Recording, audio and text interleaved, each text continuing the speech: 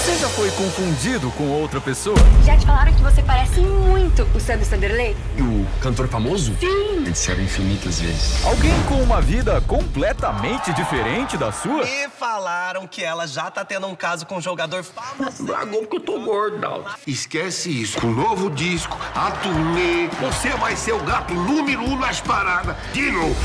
E se seu sósia famoso, de repente... Ele pode acordar hoje ou daqui a um ano. Essa história não pode sair daqui, tem que ser blindada. Você toparia trocar de lugar com ele? Você quer que eu cante no lugar do Sandro? É a salvação da lavoura!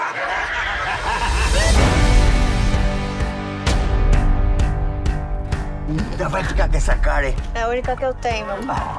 Sandrão, meu amigo! Ô, prefeito bem! Você não tem mais o que fazer aqui, não?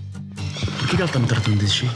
Vocês, quando eram mais novos, tiveram um rolo, mas ela te odeia. Sério?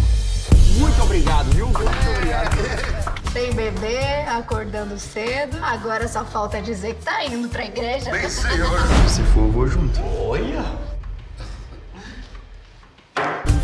No clipe com ele? De jeito nenhum. Tá com medinho, é, Luli? Medo de quê? Meu, você tá Ridículo você. tá linda pra cá. Linda demais na conta. vivesse a vida de outra alguém O que, que você quer com esse teatrinho? proibido de falar.